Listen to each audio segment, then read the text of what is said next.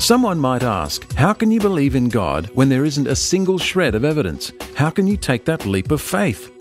But on the contrary, the Bible tells us that the heavens are telling of the glory of God, and their expanse is declaring the work of His hands.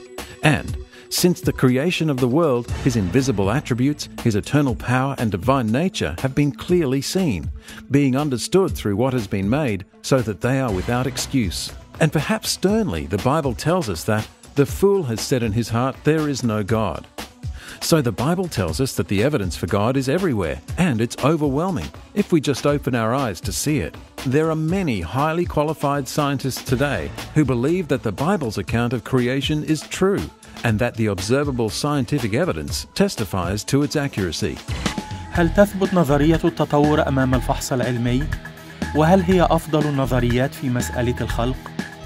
هل تؤيد الاكتشافات الحديثة والتقدم العلمي هذه النظرية؟